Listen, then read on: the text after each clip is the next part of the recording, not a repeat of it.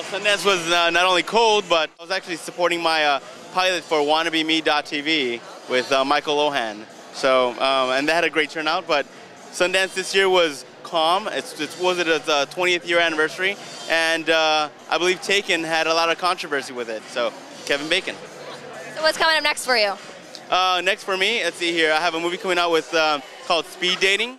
I mean to ask you, you know, if you're so cool and your game is so tight, then why do we always gotta play games in order to get? Whoa, whoa, hold on, Pillow. Women are programmed to say no, even if they like you. Three friends. If we don't bring this place up to code, then we don't get our liquor license. With one big problem. I think you can tell I like to shut people down.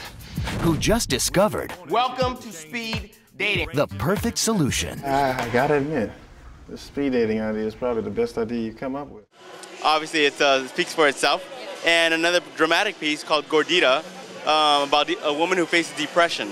So I'm pretty nervous about that, but my first love. Something different, yeah. Oh yeah, oh yeah, oh yeah. So. Congratulations with everything. Enjoy the show. This is Julie with Real TV Films.